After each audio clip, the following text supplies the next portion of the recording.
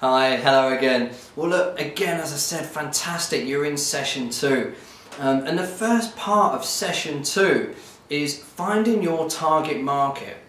Now again, how this come about is because when I when I speak to a lot of businesses, when I'm doing workshops or, or whatever, consultations, whatever it may be, and I say to them, right, what's your target market? Well, they just kind of look at me and go, well, anyone. just want to sell something, you know? Well, look, guys, that's no good.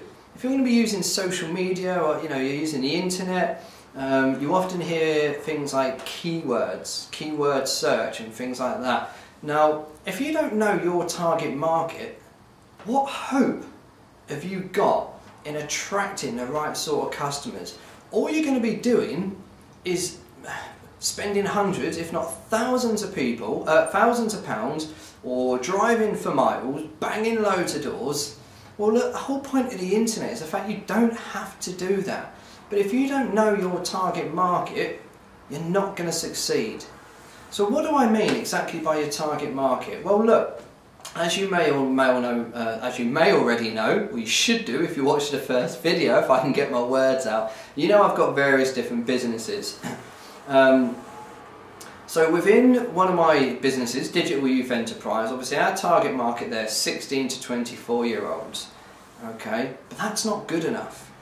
16 to 24 year olds, uh, or 16 to 24 year old people who are interested and looking to set up in business okay, or 16 to 24 year olds that are already in business and they want um, some sort of mentoring or help or whatever. But it's really, really micro niching, looking down to your target market. When we do workshops, we don't just want to, there's no point in us delivering a workshop, say in Newcastle, um, and then hitting a list of people that are in America. What's the point? Okay, it defeats the object. You need to look at your target market. So let's just talk about that in a little bit more detail. What exactly do I mean? Well, again, let's go back to the golf instructor who I mentioned earlier. If you're a golf instructor and you're a left-handed golfer, so you've decided that your business is teaching left-handed golfers. Now, if you don't play golf, you might be thinking, well, what do you mean? That's not really a niche. Well, trust me, playing golf left-handed and playing golf right-handed it's pretty, it's, it's difficult. I can't do it. I've been playing golf for years, okay? So let's just think, okay, I teach golfers how to play golf left-handed. I improve their swing.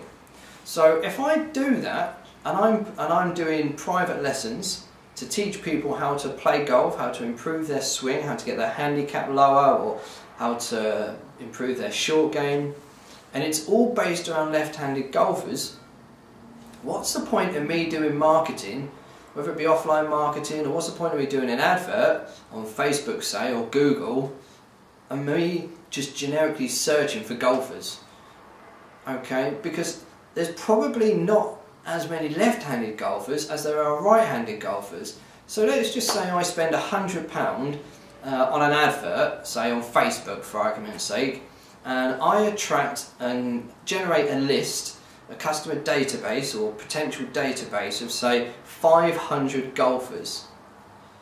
Well you might be thinking, well that's fantastic, you've got 500 potential customers here. No, it's not. Because if those 500 customers, let's say out of them um, 400 of them were right-handed golfers, and I'm only teaching people how to improve their golf who play golf left-handed, it's a complete waste of money. Okay, you've still got 100 customers there, but wouldn't it be better to know your target market and say, okay, I'm a golf coach, I teach people how to improve their game of golf, uh, or I, excuse me, I work with left-handed golfers to help them improve their game of golf. So when you're doing your keywords, when you're looking for your target market, you can put left-handed golfers. How to improve my golf left-handed. How to get my handicap down as a left-handed golfer. Does that make sense? It's all about keywords and searching for your business, but identifying your target market. If you don't know your target market, you are going to waste thousands of pounds, okay? And the results won't happen. Well, they might, but they might not happen. They might not happen as quickly, okay? So really identify your target market.